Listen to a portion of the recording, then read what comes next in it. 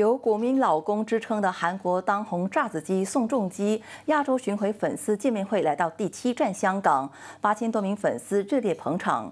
宋仲基除了大方分享生活照，还和幸运粉丝近距离接触，重演电视剧《太阳的后裔》部分经典画面，让一众狂粉声嘶力竭，陷入疯狂状态。네안녕하세요송중입니다반갑습니다大家好， 많은 분들이 오셨네요. 真 어 떨려요.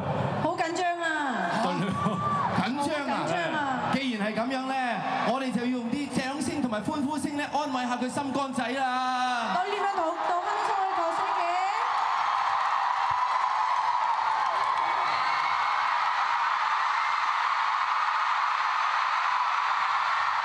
오케이. 哇！唔紧张啦，而家唔紧张啦。 宋仲基坦言，香港对他有特殊的意义，因为那是他成年以后第一个旅行的地方。宋仲基除了和好基友李光洙合唱歌曲，香港艺人王祖蓝也到场助阵。